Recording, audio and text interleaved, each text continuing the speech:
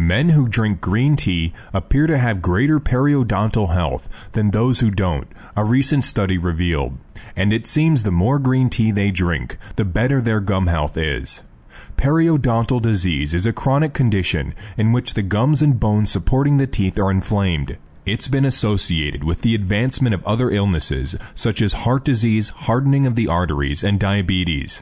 Lead author Yoshihiro Shimazaki said, It has long been speculated that green tea possesses a host of health benefits.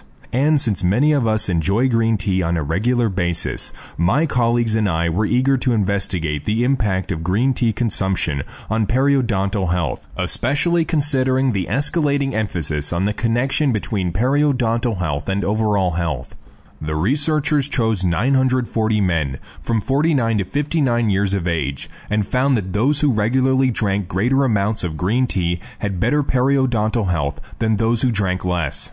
The team judged gum health using three negative indicators periodontal pocket depth, clinical attachment loss of gum tissue, and bleeding on probing of the gum tissue. The scientists discovered that each of the three indicators dropped for every cup of green tea consumed per day. This meant that there was a positive correlation between green tea consumption and improved periodontal health.